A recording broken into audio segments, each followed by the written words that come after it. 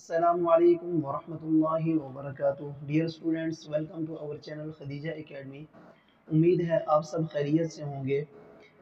آج ہم grade four کی جرنل سائنس کے unit number five forms of energy and energy transfer کے کانسٹرکٹیڈ رسپانس کوشچنس کو سالو کرنے جا رہے ہیں۔ اگر آپ کو ویڈیو اچھی لگے تو ویڈیو کو لائک اور شیئر ضرور کریں اور مزید ایسی ویڈیوز کے لیے ہمارے چینل کو سبسکرائب کریں۔ तो आइए शुरू करते हैं। बसमीम constructive response question question number one if we bring a thermometer near a lighted bulb will the thermometer show change in temperature if yes would the temperature rise or fall explain answer yes the temperature will rise due to hotness of bulb Question number two. You are holding a glass of cold water in a room. The temperature of different things is as follows. Your temperature 37 degrees centigrade. Temperature of water 5 degrees centigrade.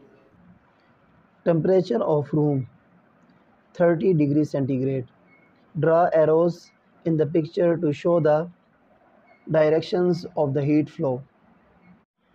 Answer. Question number 3 sidra has a reflector in her torch. There is no reflector in Ali's torch. Which torch will throw more light on a wall at a 5 meter distance? Answer. Sidra's torch has reflector so it will throw more light on a wall at 5 meters distance. Number 4. Investigate. A simple electric circuit consists of a battery or cell, bulb and electric wire. Its electric path has broken and the bulb is not glowing. We want to complete the electric path so that the bulb can light by using the electrical energy of the battery. We have bud a plastic ball pen, an ice cream stick, nail, a key and a pencil. Which object should we join with the ends of the wire so that the electric circuit is complete and the bulb lights up? Answer.